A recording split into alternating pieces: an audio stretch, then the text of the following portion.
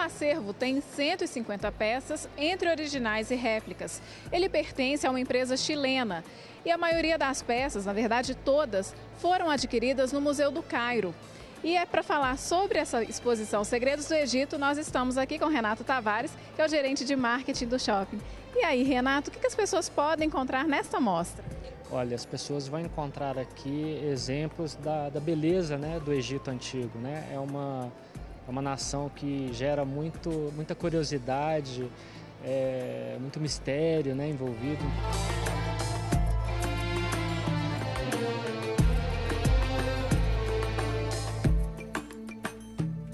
essa exposição ela foi dividida né, em subtipos, como que é? Exatamente, nós dividimos a exposição em cinco, cinco etapas. Né? Ela pega um pouco da dinastia, né, principalmente do Tutankhamon, que foi um faraó bem famoso né, do Egito, fala da parte também de mumificação, da cultura dos mortos que o... É aqui nós estamos.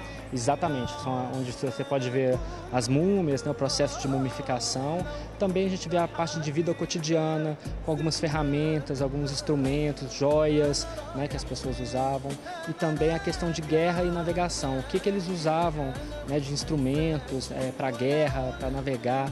Então, assim, várias coisas que a gente utiliza hoje que você pode ver que há 3.500 anos atrás eles já haviam pensado nisso e criaram instrumentos para isso.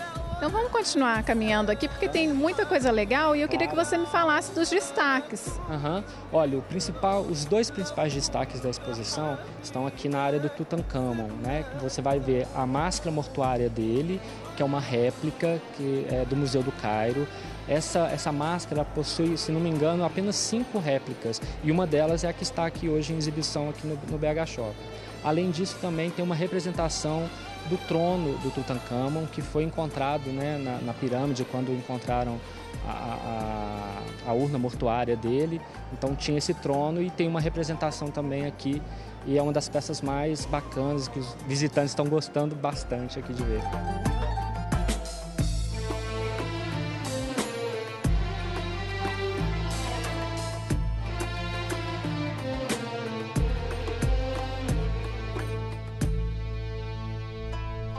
Como nós temos peças que são originais, algumas réplicas, de qualquer forma, todas com bastante dificuldade para fazer o transporte e a instalação aqui. Quais foram os cuidados? Olha, os cuidados a gente teve que contratar né, uma empresa especializada, né, vinda vinda do Chile para tomar conta dessa, dessa montagem, porque não, são, é, não é qualquer pessoa que pode tocar, então há todo um cuidado de tirar essas peças da, das suas embalagens, principalmente as peças originais, né? Então eles tiveram todo esse cuidado no transporte, na embalagem. Né? A gente levou praticamente uma noite inteira.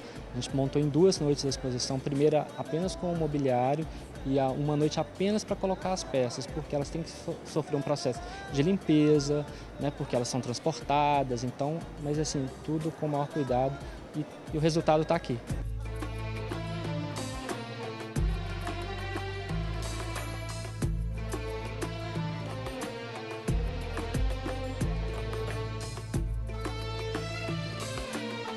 Mais de 20 mil pessoas já visitaram a exposição desde fevereiro. Bruna adorou a experiência. Eu sempre gostei muito do Egito, né? Desde que eu sou pequena. E eu sempre quis ir lá, assim. Eu sempre gostei muito da cultura e tal. E aqui em BH nunca teve nada assim, né? Nenhuma exposição assim, eu nunca consegui ver. Aí quando eu fiquei sabendo dessa exposição, eu vim assim, direto, né? Dona Maria ficou tão encantada com a atração que quis guardar uma lembrança. Eu nunca vi, para mim é novidade que eu nunca vi. O que, que você está achando? Assim, o que, que te chamou mais atenção? Vi que até fotografar isso, estava fotografando. Ah, coisas diferentes, né? Então, levar de recordação, né? Aficionado pela história do Egito, seu Wilson conferiu cada artigo da amostra. Inclusive, eu estou há algum tempo aqui que eu estou namorando mesmo, coisa por coisa, sabe? Peça por peça. Está excelente.